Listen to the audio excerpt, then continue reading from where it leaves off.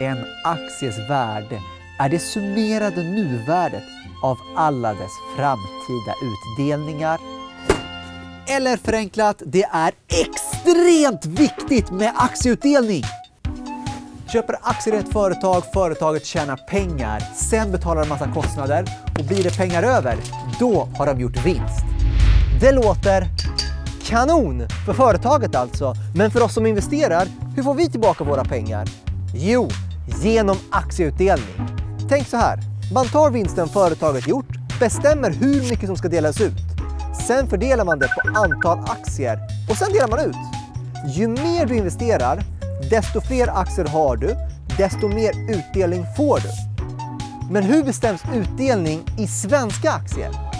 Vi brukar ofta vänta första, andra, tredje kvartalet. Men sista kvartalsrapporten, alltså den fjärde, då vet vi hur stor vinsten har blivit. Då kan vi också föreslå hur stor utdelning vi ska göra.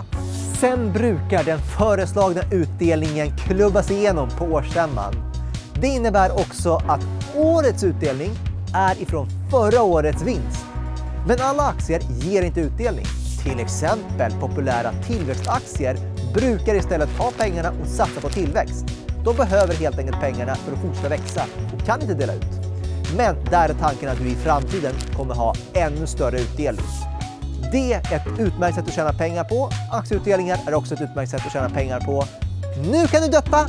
Lycka till!